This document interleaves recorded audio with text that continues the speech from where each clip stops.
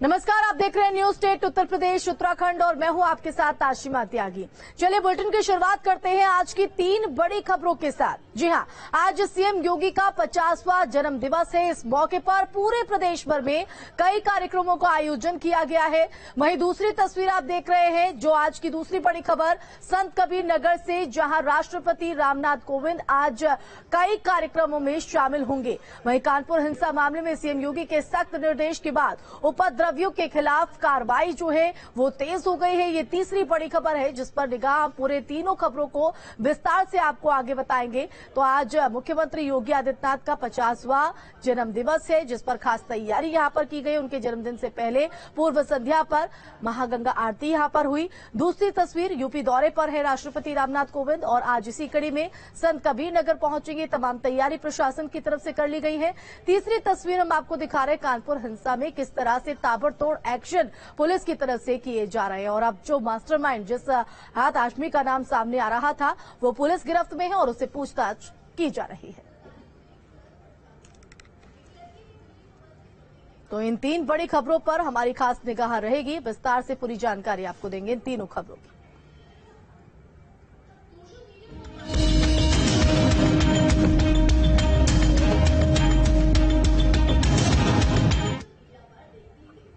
तो सीएम योगी आदित्यनाथ का पचासवां जन्मदिन आज। तो सीएम योगी आदित्यनाथ का पचासवां जन्मदिन है आज और जन्मदिन के मौके पर प्रदेश भर में कार्यक्रम आयोजित किए जाएँगे। तो जन्मदिवस की पूर्व संध्या पर काशी में महाआरती हुई। अयोध्या में इक्यावन सौ किलोग्राम का केक कटेगा। लाखों लोग हनुमान चालीसा का पाठ करेंगे। डिप्टी सीएम केशव प्रसाद मौर्य ने ट्वीट कर मुख्यमंत्री योगी आदित्यनाथ को बधाई दी है। तो आज अपना पचासवां जन्मदिवस मना रहे हैं मुख्यमंत्री योगी आदित्यनाथ और उनके इस जन्म दिवस के मौके पर प्रदेश भर में अलग अलग कार्यक्रम और ये डिप्टी सीएम केशव प्रसाद मौर्य ने ट्वीट कर उन्हें बधाई दी। सीएम योगी को जन्मदिन की बहुत बहुत बधाई। तो यशस्वी मुख्यमंत्री माननीय श्री योगी आदित्यनाथ, आपको जन्मदिन की हार्दिक बधाई और शुभकामनाएँ। तो केशव प्रसाद मौर्य की तरफ़ से ट्वीट कर उनके जन्म दिवस पर उनकी दीर्घायु और साथ ही उनकी, उन्हें शुभकामनाएँ दी।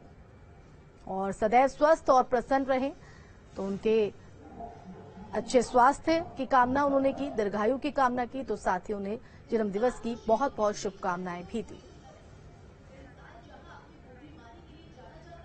तो सीएम योगी का आज पांचवा जन्मदिन है और ये तीन तस्वीरें हम आपके टीवी स्क्रीन पर अब दिखाएँगे। सीएम योगी के जन्म दिवस को लेकर किस तरह की खास तैयारी है तो आपको ये तीन तस्वीरें आपके टीवी स्क्रीन पर दिखा रहे हैं हम। तो सीएम के जन्मदिन को लेकर किस तरह से जश्न का माहौल? और जश्न का माहौल आज से नहीं, कल शाम से ही शुरू हो गया था।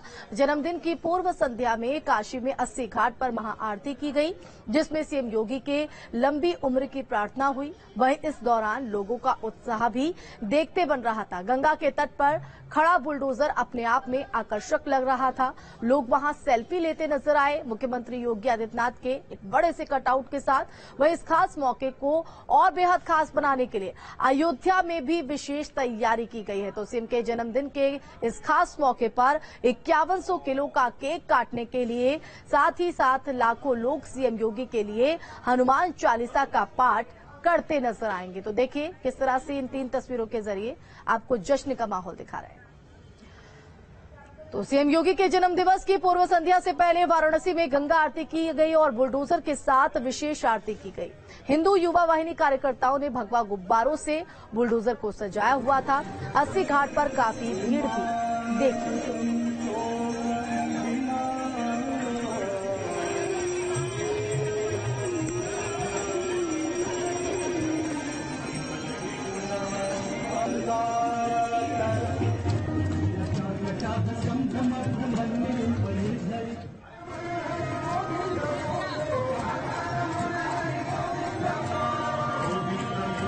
देखिए तस्वीरें हम आपको दिखा रहे हैं कि किस तरह से जश्न का माहौल है और उत्तर प्रदेश के लिहाज से काफ़ी महत्वपूर्ण हो जाता है, जिस तरह से कदम यहाँ पर मुख्यमंत्री योगी आदित्यनाथ ने उठाए हैं। यही वजह है कि दिलों पर राज करते हैं और किस तरह से उनकी आरती यहाँ पर की जा रही है, कितने प्रशंसक यहाँ पर उत्साह है, ये कहीं ना कहीं काफ़ी उत्साहवर्धक नज़ारा।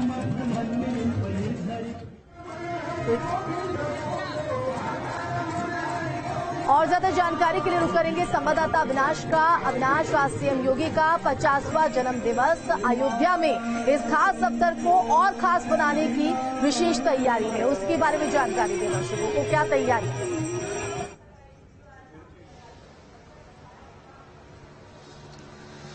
देखिए आशमा, वैसे तो योगी आदित्यनाथ खुद अपना जन्मदिन नहीं मनाते हैं, लेकिन उनके जो लाखों सपोर्टर्स और समर्थक हैं, वो बहुत ही धूमधाम से उनके जन्मदिवस को मनाते हैं और आज अयोध्या में भी इसी कड़ी में एक कार्यक्रम रखा गया है जो कैसरगंज के भाजपा के सांसद हैं ब्रिजभूषण शरण सिंह।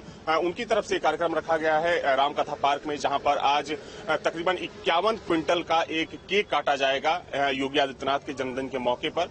और साथ में चूँकि ब्रिजभूषण शरण सिंह का ये दावा है कि इस पूरे कार्यक्रम में पाँच लाख लोग शामिल होंगे और सभी लोग एक साथ हनुमान चालीसा पढ़ेंगे। हालाँकि अगर हम थोड़ा सा पीछे जाएँ आशमा तो चूँकि देखिए इससे पहले जब राज ठाकरे ने कहा था कि वो पाँच जून को अयोध्या जाएँगे जिसके बाद ब्रिजभूषण शरण सिंह ने राज ठाकरे का विरोध करते हुए कहा कि अगर वो अयोध्या आते हैं तो वो उनका विरोध करेंगे। और उन्होंने अपने समर्थकों को से अपील की थी कि पाँच जून को अयोध्या पहुँचे ज़्यादा से ज़्यादा संख्या में। हालाँकि बाद में राज ठाकरे ने मना कर दिया था तो चूँकि वो उनका पहले से कार्यक्रम था लेकिन हाँ बाद में उन्होंने तय किया कि इस पूरे कार्यक्रम बिल्कुल अविनाश लौटेंगे आपके पास समर्थकों और प्रशंसकों की क्या लगातार लंबा चले और साथ ही साथ जनता के जो विचार है, उन पर खड़े उतरे और एक अच्छा काम कर रहे हैं और ऐसे शासक की हमें आवश्यकता थी। भगवान सूर्यदेव, भगवान शनिदेव की कृपा से, भगवान हनुमान जी कृपा से ऐसा शासक हम लोग को मिला है। उनके दीर्घ जीवन के लिए, उनके उत्तम स्वास्थ्य के लिए, उनके लगातार कामयाबियों के लिए हम भगवान शनिदेव प्रार्थना करते हैं। हमने भगवान शनिदेव का छप्पन प्रकार का भोग लगाया है। हवन पूजन किया है। इक्यावन हज़ार मंत्र का जाप कराया शनि भगवान का। उनके लिए लगातार शुभ सूचना, शुभ कार्य होता रहे, इसलिए भगवान से हमने प्रार्थना किया है। मुख्यमंत्री जी का जन्मदिन है। इसके लिए हम लोगों ने वाराणसी के शनि मंदिर में छप्पन भोग लगाए हैं तथा होम किया है। ईश्वर से प्रार्थना है कि वो यशस्वी रहें। हमारे प्रदेश को सच्चाई और अच्छाई की राह पर ले चले और इसी प्रकार हम सब भी उनके साथ चल के सच्चाई और अच्छाई की राह पर अच्छे नागरिक बने देश के आज क्या क्या किया है मंदिर में? हम लोगों ने शनि मंदिर में पूजा किया है, होम किया है, ईश्वर को छप्पन भोग लगाया है, तथा सबने मिलकर प्रार्थना किया है कि हमारे मुख्यमंत्री जी आगे भी इसी तरह हमारा मार्गदर्शन करते रहें। तो देखिए, प्रतिक्रियाओं का दौर चल रहा है और किस तरह से देश भर से इसी तरह की तस्वीरें जो हैं, वो नज़र आ रही हैं। मुख्यमंत्री योगी आदित्यनाथ के जन्म दिवस के खास मौके पर उसको खास बनाते हुए उनकी प्रशंसक उनके समर्थक तो देखिए, तस्वीर आप देख रहे हैं। उससे पहले आपने प्रतिक्रियाएँ भी सुनी कि किस तरह से जो लोग हैं, उनका कहना है कि उनके विचारों पर, उनके जो उम्मीदें, उनके जो विश्वास पर खरा उतरे हैं मुख्यमंत्री योगी आदित्यनाथ और वो उत्तर प्रदेश का चौतरफा विकास कर रहे हैं और ये विकास आगे भी जारी रहे। इसी को लेकर चाहे वो हवन यज्ञ हो, जहाँ पर उनके चेहरे की रंगोली उकेर कर हो या गंगा महाआरती हो, ये तमाम दृश्य इस बात को ज़ाहिर करते हैं अविनाश कि कितना प्रेम और कितना विश्वास लोगों को कि ये विकास की जो रहा आगे बढ़ाई है। मुख्यमंत्री योगी आदित्यनाथ ने वो यूँ ही आगे बढ़ती रहे।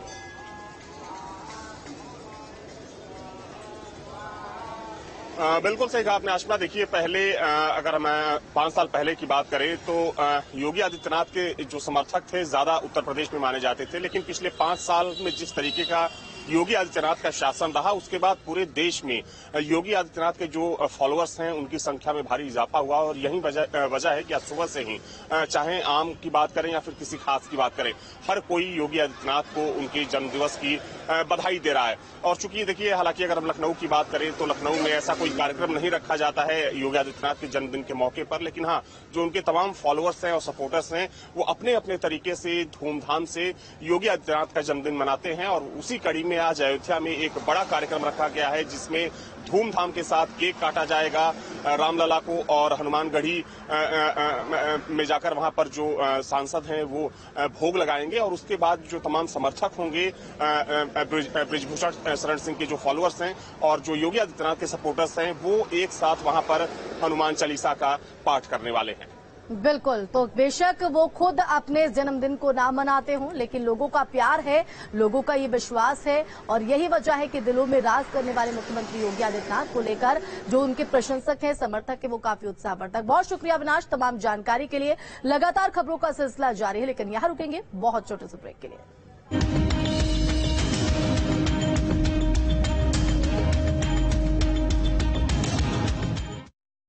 करोड़ों परिवारों के विश्वास और हमारे निरंतर प्रयास ने बनाया है घड़ी को भारत का नंबर वन डिटर्जेंट पाउडर। पहले इस्तेमाल करें फिर विश्वास करें।